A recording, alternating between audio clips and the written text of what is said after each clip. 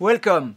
It's time for some more creative wave shaping, and by creative I don't really mean original because it's not actually my idea. My idea is to emulate one of these modern complex oscillators with another of those modern complex oscillators and a bunch of utilities. The, the most observant of you may have noticed there's been a plethora of new complex oscillators, often triple oscillators, sporting some very interesting and original and unheard of self-modulation. The Trident here, for example, does some ring modulation between two auxiliary oscillators and a main one. And what's remarkable about it is the incredible accurateness of relative pitch between all those oscillators.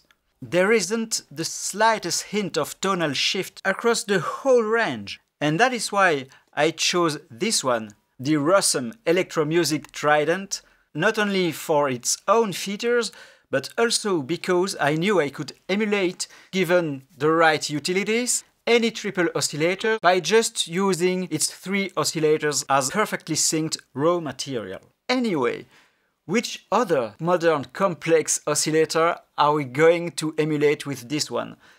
For our first experiment, I settled on Future Sound Systems recombination engine. Engine, engine. Engine or engine?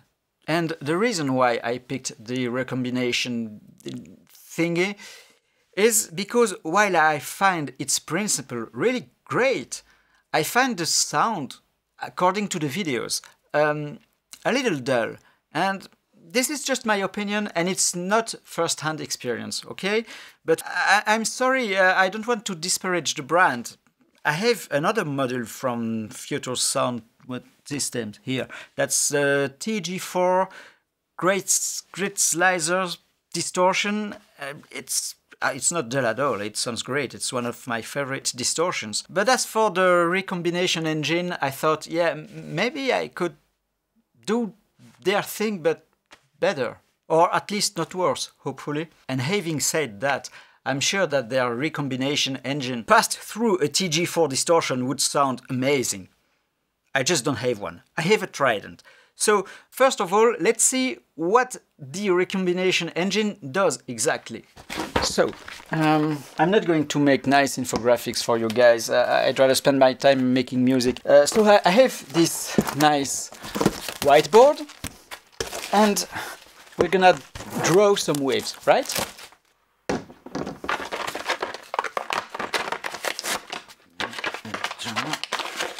Actually, everything I'm about to explain is not exactly how the recombination engine works.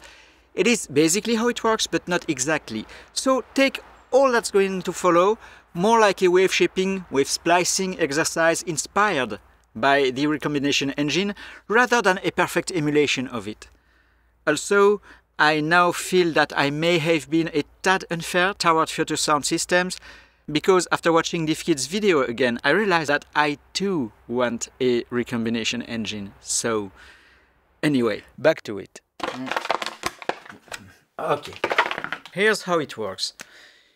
You've got a master oscillator that gives you a pulse, right? This is a pulse.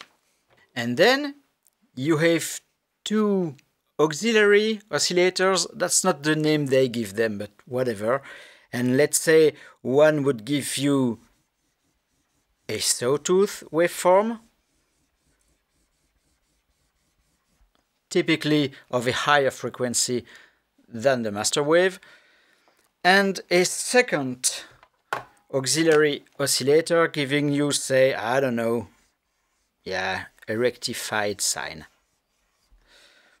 And what the recombination does is combining those auxiliary shapes into the main one.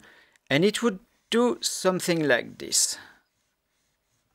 Note that both auxiliaries don't necessarily have the same frequency. So, the resulting wave shape will be something like this. What am I doing? Yeah, something like this, and so forth. So basically, if I were to emulate this with affordable utility modules to the extent that any modular gear is affordable, that's another story. What I would want is a pulse that would control a switch that would switch between two waveforms. So I would need one oscillator to control the switching, that would be the black shape here, and then two feeding oscillators to feed that switch. Then, as you can see, this wave shape, the rectified sine, and this wave shape, the sawtooth, they are not centered on the same voltage. So we would need an offset, something to offset one wave up and offset the second wave down. Although I know for experience because I've done it and I will do it again now before you, if we had something like this, so without offset, it would sound basically the same. This sounds like this plus a big sub that is a square wave mixed into it.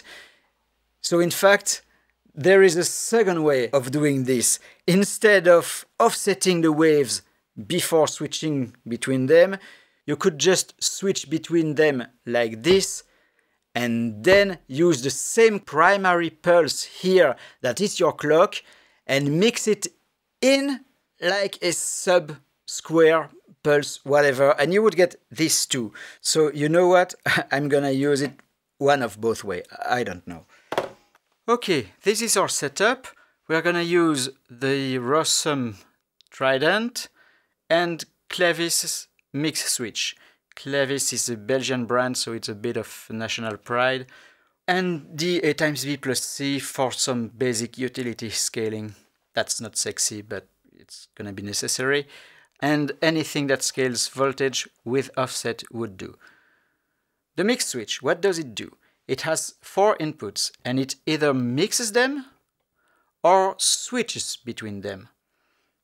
It can also do a blend of both, switching between two inputs and then mixing in the other two. And that is what we are going to do. For switching, you can use either clock or CV. When you can use clock, it is simpler because you don't have to worry about scaling the CV to address the inputs.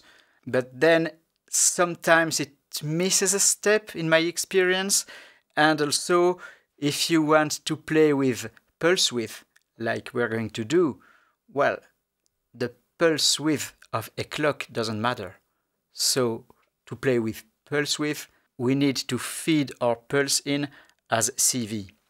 And that is what requires some scaling and offsetting, and it's a pain to find the right voltages to address these two inputs. That's why I've done it already. This is the right settings. There's even some amplification here. Anyway, I'm going to patch it through. We're going to use the Trident's main oscillator as a pulse slash clock. Let's call it a pulse. Yeah, as a switch driver, whatever. Here and here. Now you can see a fast switching between both inputs. At this stage, um, let's feed it through the oscilloscope and hear it. This is the output. And this feeds the computer for hearing and recording.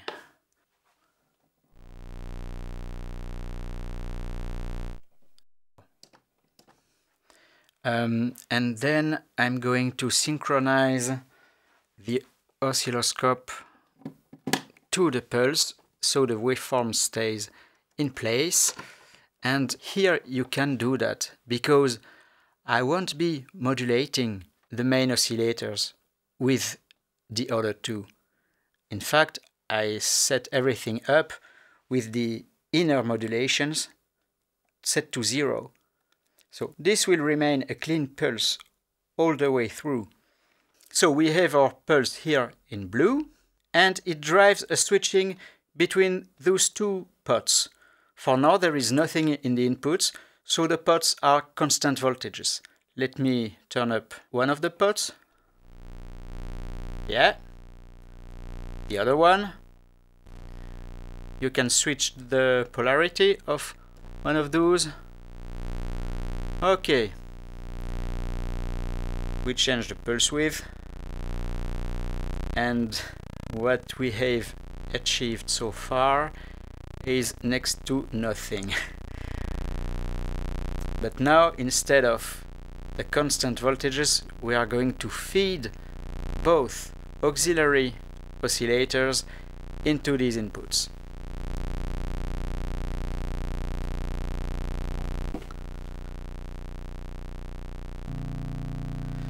As you can see, I chose different waveforms.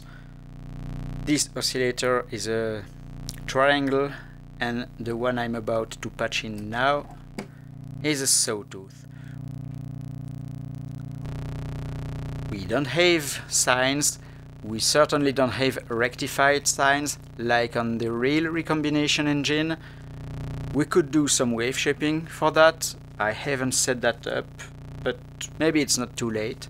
There's a nice um, 2 HP slot here. A rectifier would fit right in.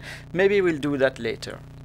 Now, can you see what's happening? Let's play with the pulses width.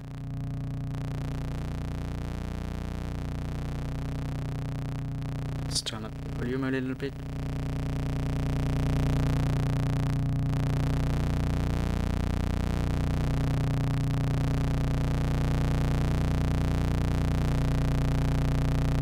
Now, these inputs which are not switched because I'm not in that mode, they, they can mix in another signal. And what I'm gonna do is use the pulse and mix it back in. So this is the pulse. Uh, this output here mi mirrors what's coming from here. Okay. Oh. and that's a big sub that you add.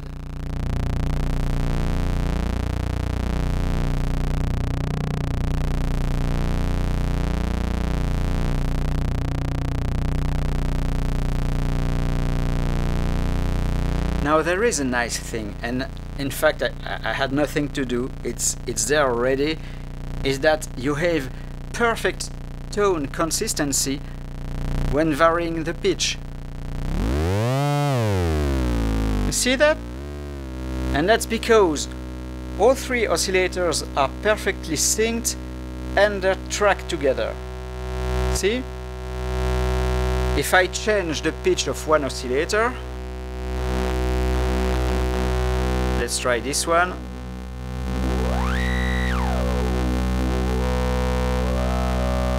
Then it doesn't move relatively to the other. See? This shape compresses very nicely and this is the strong suit of the Trident. It's amazing precision.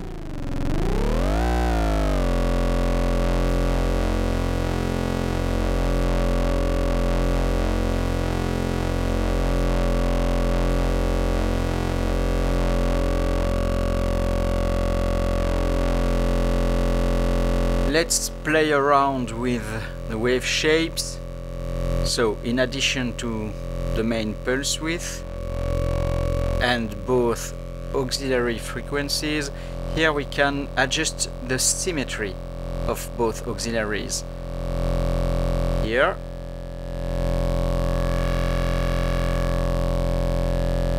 and it's gonna show better on the other shape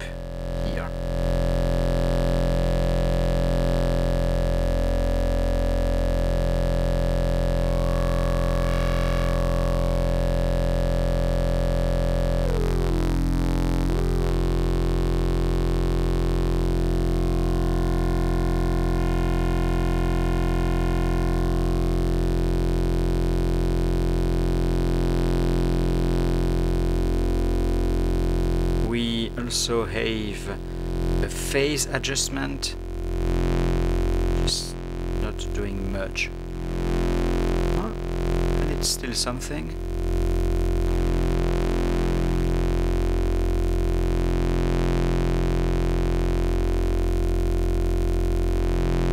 Okay, so what I'm gonna do now is animate some sweeps and then we'll see if we can emulate the recombination even better. But for now, let's record some stuff.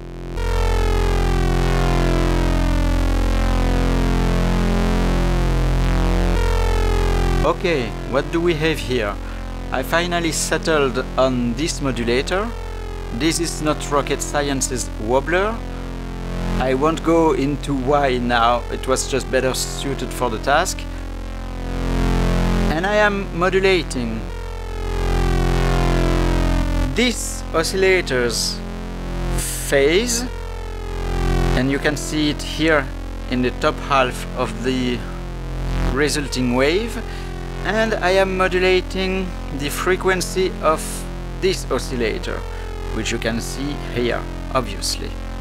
I am not modulating the pulse width here though I could but we'll do that later.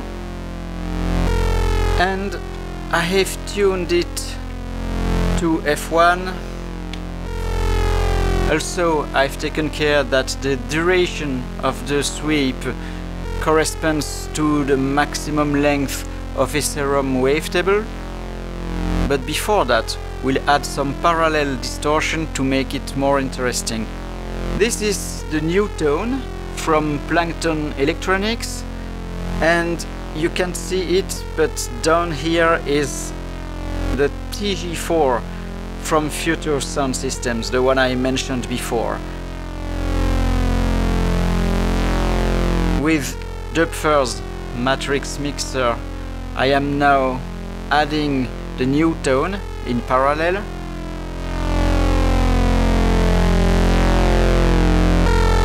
You can't see it but you can hear it and now I am adding the TG4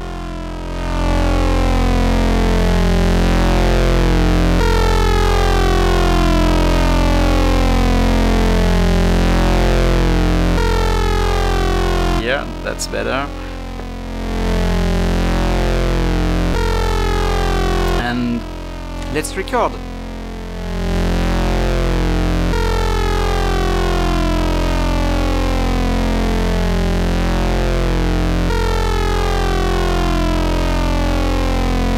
Okay, that's nice. Now let's try modulating the main pulses width in addition.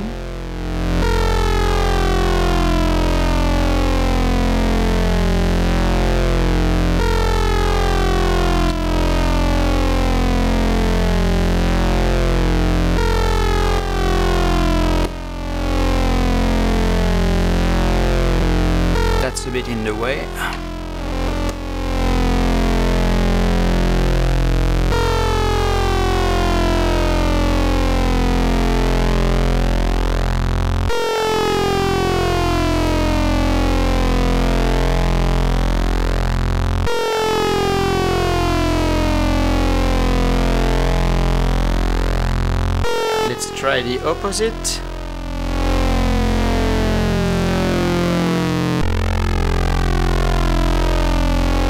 Ah, that's nice.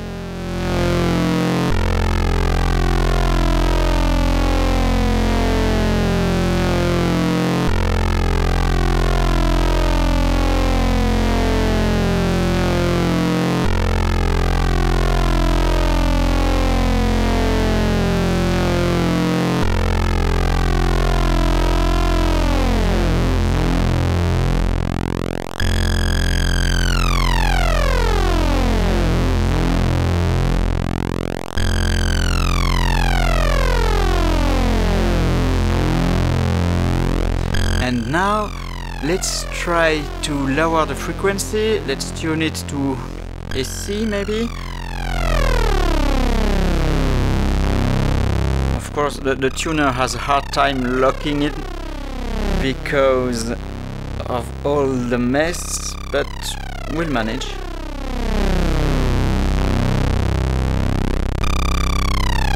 Yeah, that's about right. And that means we can do a slower um, sweep for the same amount of wave cycles and we'll just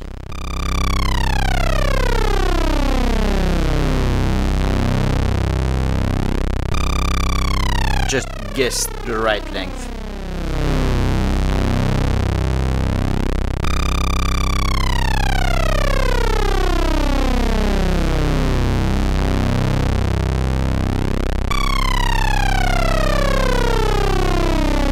Now I'd like to say a word about the Serum wavetable format. I use it because it has become kind of a standard, but there are several things I don't like about it. One of those things is that it's only 44.1 kilohertz. I'm not trying to convince you that you can hear ultrasounds, it's not about that. It's just that when you pitch a sample or a wavetable down, you lose some brightness unless there are some ultrasounds that would then get audible and prevent that loss of brightness. So, because of its lowish sampling rate, the serum format only allows for pitching wavetables up.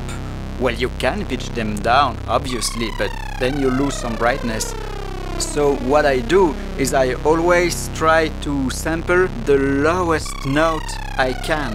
The lower the better. Usually the limit is my ability to hear what I'm doing. If it's too far down in the subdomain I can't really hear what I'm doing. But here it's not a problem with the Trident because of its excellent accuracy. Across all pitches I can now pitch it all the way down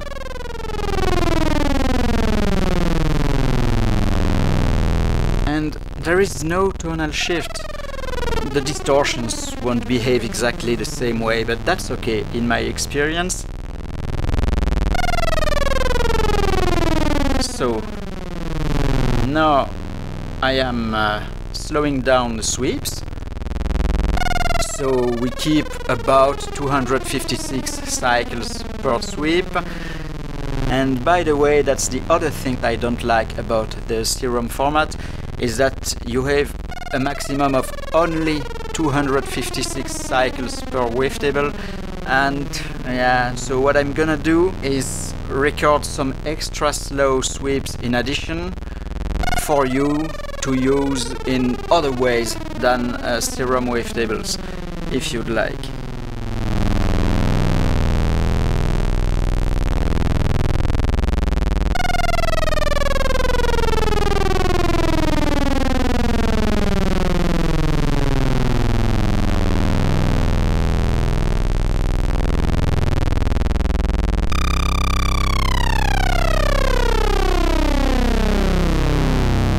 Let's forget the modulation for now and try some other wave shapes. And for that I will need my whiteboard again. So yeah. Now as I said before uh, the recombination engine offers another wave shape which is a rectifiable sine. What is a rectified sine?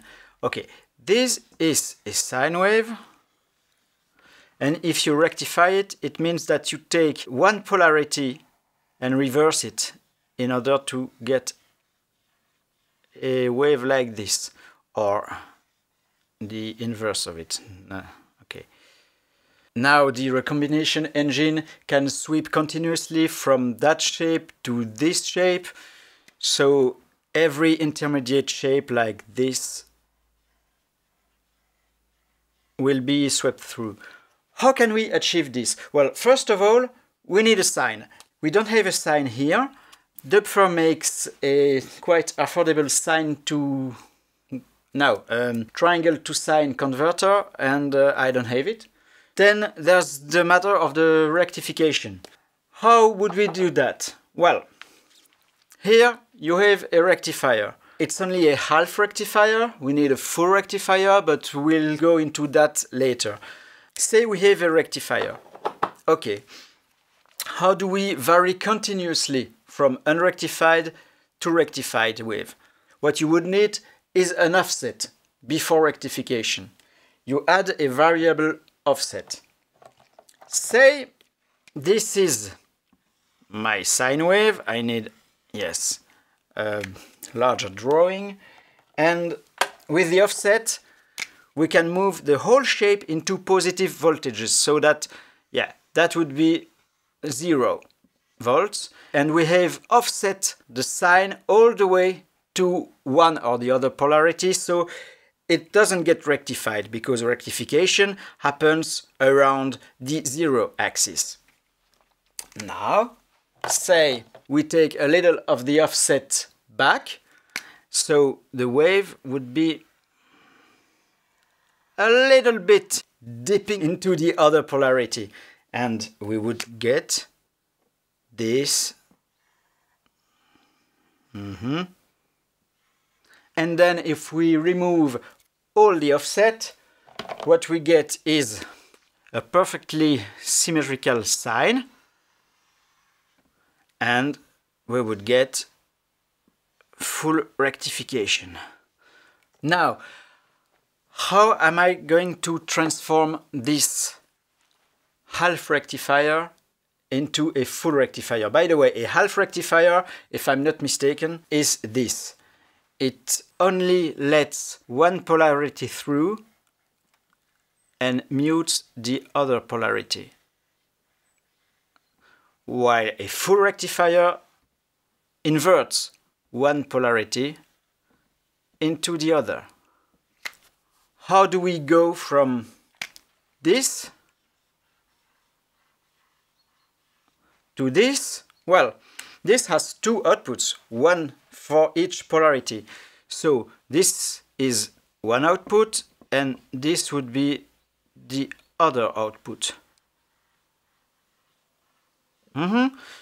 And then what we need is to mix these back together while inverting one of them. We need an inverting mixer, right? Well, it's a good thing because the A times B plus C is also an inverting mixer. I always come back to this one because it's my favorite, but there are many other alternatives. Then we're going to try something else because we still don't have a sine shape. So I happen to have this. This is Bubblesound's ULFO and it tracks volts per octave all the way through the audible range. And I really don't know why they call it an LFO because it's a VCO just as well and it's lovely sounding by the way.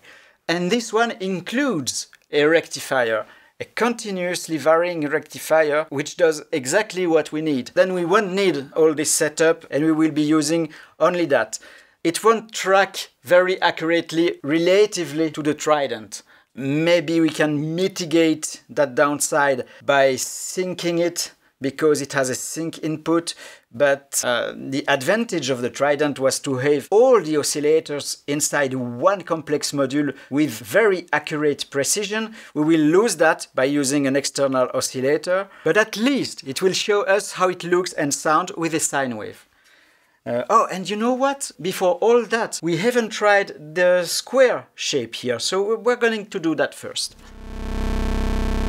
Let's try the square shape, as we said.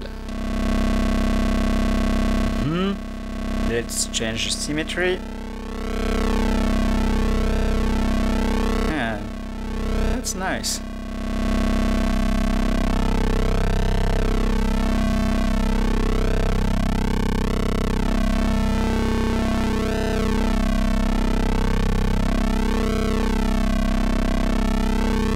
Okay, let's animate that, record a sweep, and then we'll try the rectification thing, right?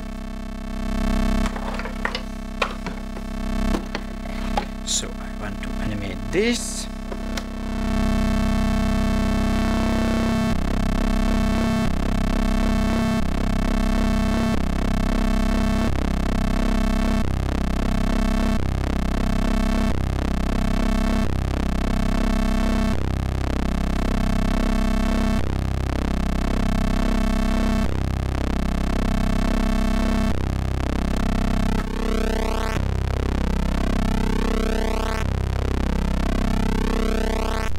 Let's amplify the secondary pulse. Okay, it's not this one, but that one.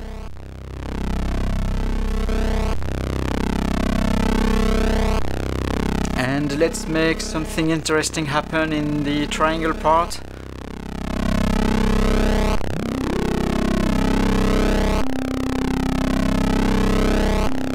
Let's tune it to some nice harmonic.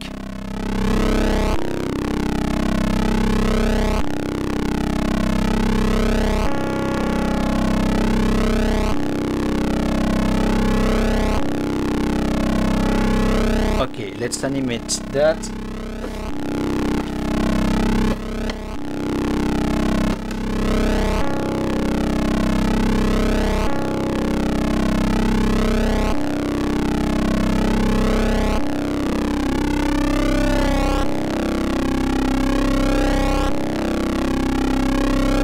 Then we can try without the clocking pulse mixed in or with much of it and maybe we could sweep that too. Yeah, let's do that. For that we are going to use the second channel of this A times B plus C completely independently, just as a VCA.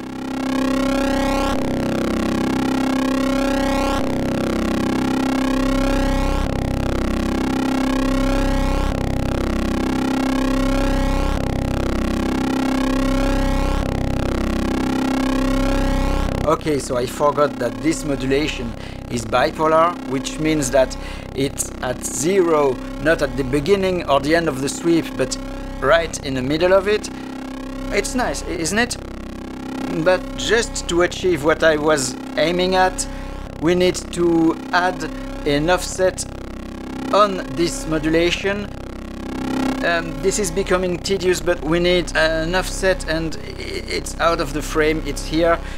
I have one more A times B plus C, that's one two three I actually have 4 of them. And we'll use it to add some offset.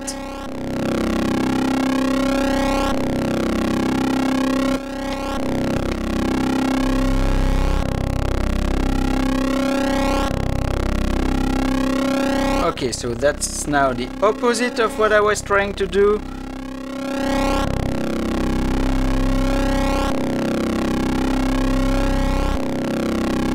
And this is more like it.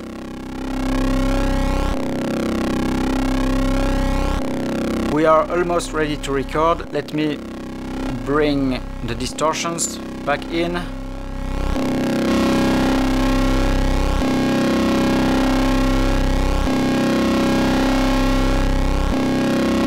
Let's record a C1 and um, as for the correct sweep time I'm going to just try a bunch of them and then select the best fitting one after recording this video.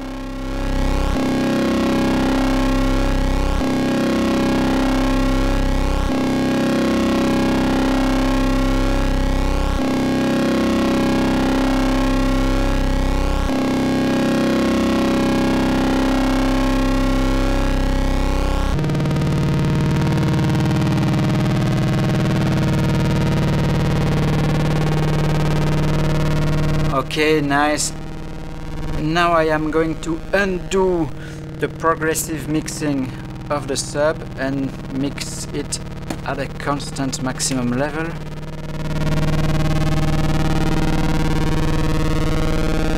And now let me get back to C.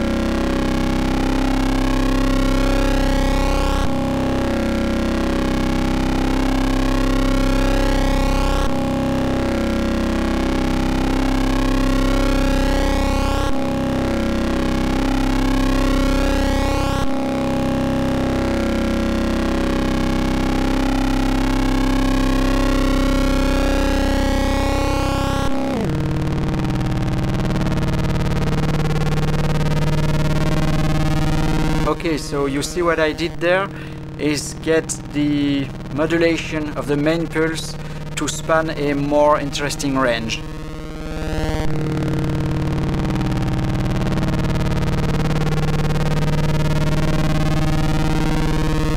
Good. Let's do the rectification thing now.